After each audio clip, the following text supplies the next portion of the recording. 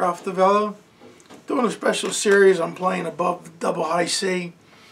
Now, the reason I'm doing this is because to be able to play up in that range, it takes a tremendous amount of coordination from the moving parts, from your jaw, your lips, your mouth, all the muscles in your body, all the muscles in the embouchure. In order to play there, it takes a terrific amount of coordination. And if you can play it at that, at that level, it really helps a lot as far as playing in your, your regular high register on the trumpet. Say maybe an F, a G, or even an A. Uh, th this is not about me telling you to raise your tongue up or anything else. One thing that will be magic to help you play up there. There's a whole series of lessons that need to be coordinated and to take you up to that level. So if you're you know willing to put the work in and you really want to do it, let's get started. Well, let's talk about uh, some of the things that we're going to be doing. Uh, so the main thing I'm trying to say is, is consider timing coordination. What I mean by this is everything has to coordinate. Your lips, your tongue, your throat, the way your shoulders move, the way you breathe, the way your back, the way your back is, the way your, your stance is, the way you're sitting, all the muscles of the embouchure. Uh, it goes on and on. We're going to work on coordinating all this. We're not going to think about all this, like 50 million things at one time, because if you did, you probably wouldn't be able to even play one note. So uh, we're going to get started. We're going to talk about the first things first.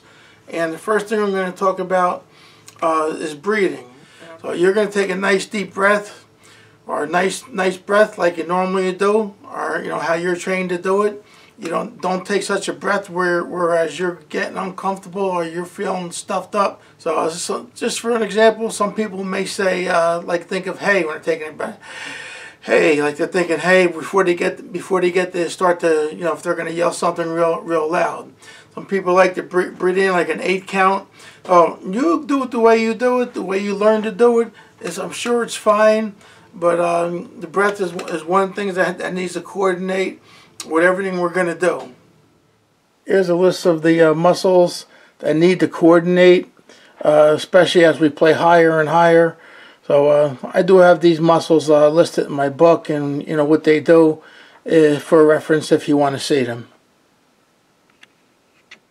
This is some uh, some more of the things that need to coordinate when we're playing up in that high register like that. Again, there's a lot more things in this, but these are some of them. The first lesson that I actually want, want to tell you today about, about playing is I want you to play hold an F sharp on the top line. That's it. No higher, no lower. Just the F sharp. I want you to play it for as long as you can and soft as you can. So if you're playing soft and it starts to cut out, keep blowing.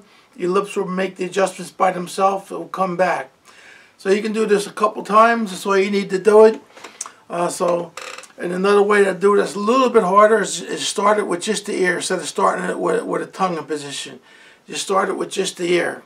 Hold that F sharp as long and as soft as possible a couple times. And uh, why we'll do this, I'll tell you in, in, in, you know in the lessons to come. But there's a good reason. I think that you'll uh, you'll agree with the reason that we do that. We're going to do this progressively up. So it does take a lot of coordination to play up that high. And there's so many things involved. It's the right hand, it's the left hand, it's when you're fingering the valves. It goes on and on and on. So we're going to cover everything. You really won't be thinking about them when, when you're playing. So it's not going to be uh, like that. I have to do this, I have to do that. It doesn't work that way. The exercises that we do will, will make it happen naturally. So I just talked a little bit about breathing, but we're going to get into that a lot more. And, uh, and I gave you one exercise, hold that F sharp. Now you play your normal routines, uh, whatever books you like to work out of Claude Gordon, Arban, whatever you like to work out, you work out of it. And then just plus just do uh, the little exercises I give you. I give you each each one of these lessons. This one was just hold that F sharp. As uh, future episodes come up, I like to bring in some uh, special guests I have friends that played with Maynard Ferguson and so forth. and I like to bring him bring them in here to see what they have to say about uh, playing uh, playing in these extreme high ranges. So uh, that was today's first lesson. I'm playing above a double high C, and I hope you liked it. And I'll be back soon. We'll talk some more about that subject.